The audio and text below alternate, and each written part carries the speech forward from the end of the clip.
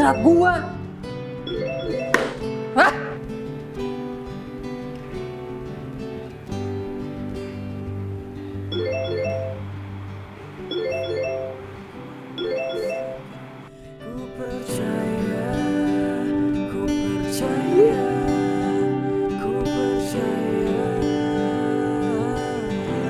Tapi kalau dibantuin kasihan juga nih anak.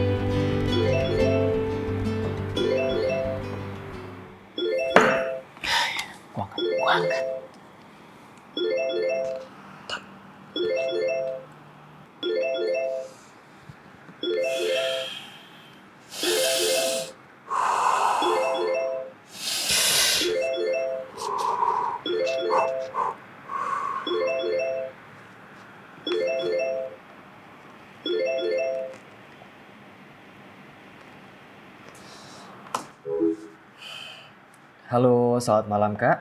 Terima kasih sudah menghubungi kami. Saya Ale. Ada yang bisa dibantu kak? Udah, lo kan udah pakai baju kaos juga, nggak usah so formal.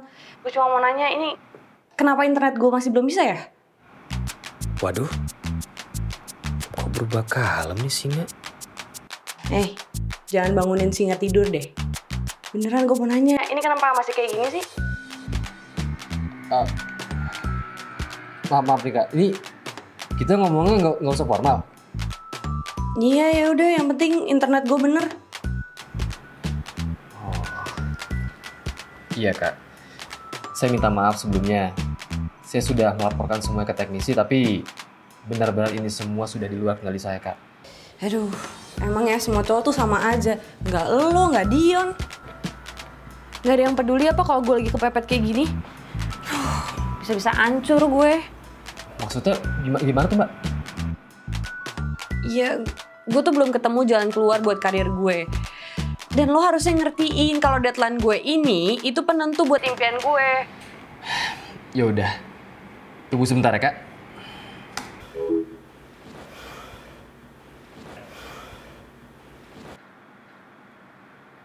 Eh, sebentar kak. Boleh nggak kak? Saya telepon teman saya dulu. Dia teknisi. Nah setelah itu saya telepon kamu lagi. Tapi lo ikhlas kan bantuin gue? Iya, udah tenang aja. Pokoknya pasti dibantuin ya.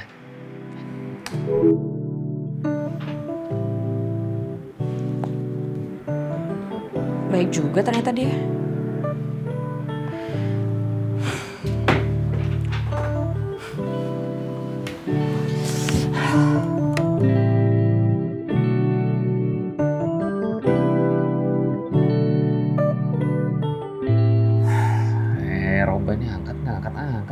Ngapain sih Bro? Sibuk banget sih. Ah, Gimana lagi nih? Diomelin lagi nih gue nih pasti. Roba yang nggak ngangkat lagi.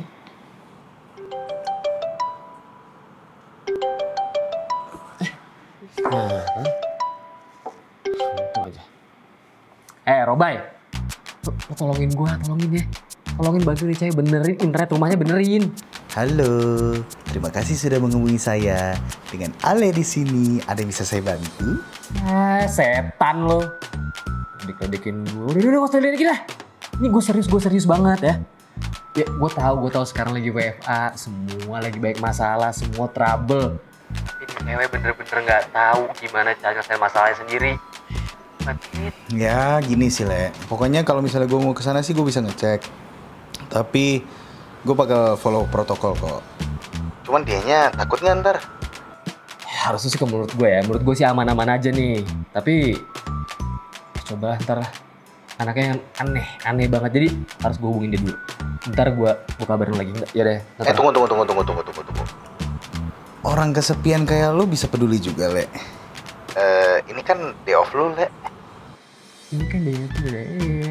Ba, ba, ba, ba, ba, ba, ba, ba, ba, bacot. Udah bantuin aja. Bebek banget sih.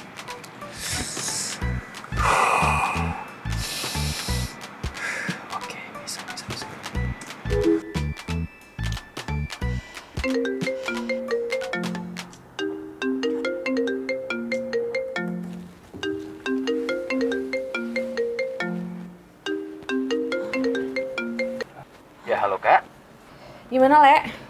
Oh, eh, Jadi gini kak, kami akan coba bantuin benerin dari sini dulu ya, saya sama teman teknis saya. Nah, masalahnya kak, ini semuanya emang lagi down semua. Ya mungkin lagi baik yang WFH ya kak. Dan kebetulan juga kami sekarang lagi WFA. Ya jadi gini lah. Aduh, complicated banget ya kalau kayak gini. Tapi harusnya kantor kamu itu udah prepare dong semuanya.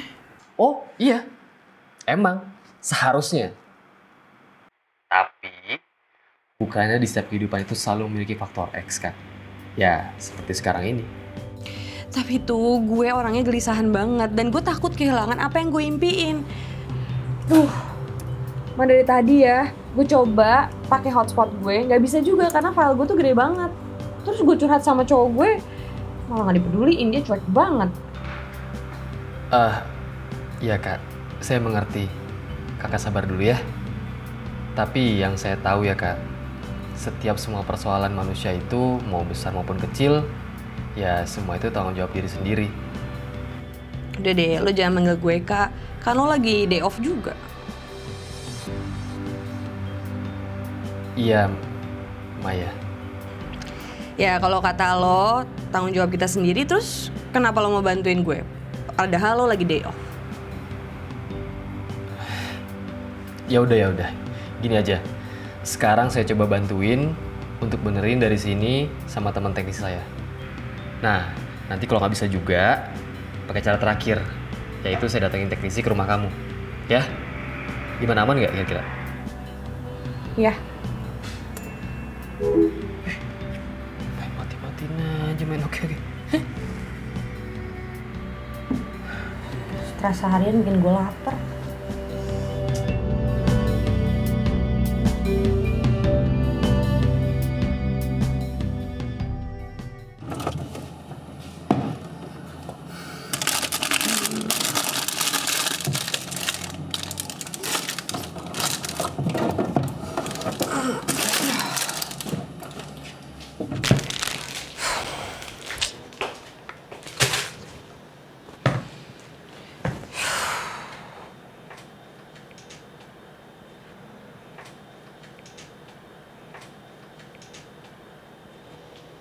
Dari hal tadi, gue ngerti sih gimana Dion. Cuman gue nggak tahu harus gimana lagi. Aku nggak tahu sih kenapa sikap kamu cuek banget ke aku. Tapi gara-gara masalah ini aku jadi tahu gimana kamu ke aku. Walaupun sebenarnya tanggung jawab masing-masing sih.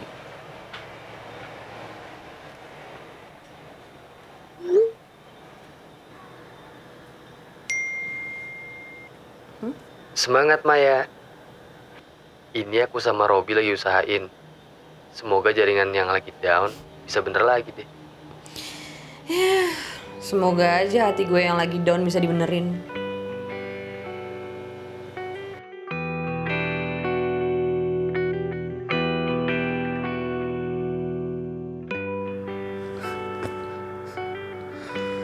Sebenarnya ya, ini anak tuh bisa loh nggak sangar-sangar banget. Dan bahkan bisa dijinakin juga kayaknya. Ya, tapi ya emang emosinya nggak stabil sih anak. Tapi gue rasa ya, ini cuma butuh didengerin. Ya karena kan emang semua orang butuh pendengar yang baik. Itu aja sih kayaknya. Ya, namanya juga hidup kadang ingin menampilkan diri yang perkasa padahal hatinya selalu pantas untuk merasa.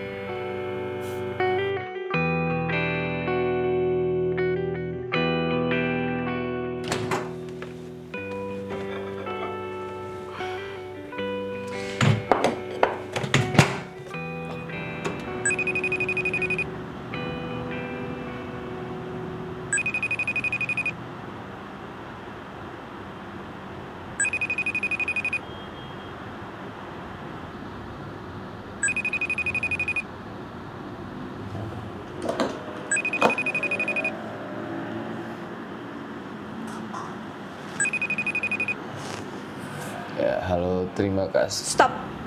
Lo kan lagi nggak kerja, nggak usah basa-basi deh. Eh, iya, iya Mai, iya Mai. Lo begadang ya semalam? buat ngebenerin internet gue. Iya. Tapi gimana udah udah lancar kan?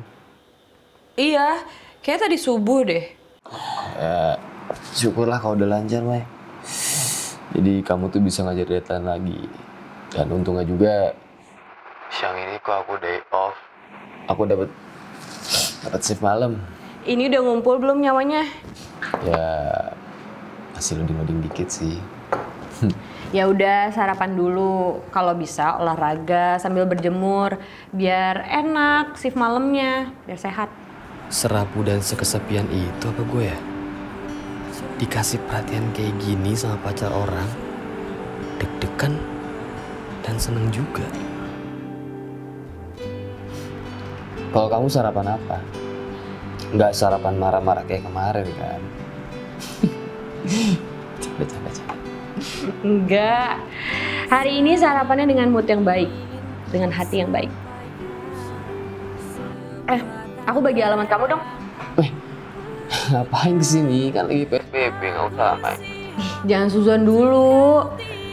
Gue itu cuma buat isi kuesioner kantor lo, biar gue ngasih tahu sama kantor lo kalau dia punya karyawan yang baik kayak lo. Eh, eh, eh, nggak, nggak, nggak, nggak usah, nggak usah. Aku lebih takut lagi di video call sama customer. Nggak usah, nggak usah. Udah sih, nggak apa-apa kasih aja alamat lo ke gue, biar kantor lo tahu kalau dia punya karyawan kayak lo. Baik, Kak.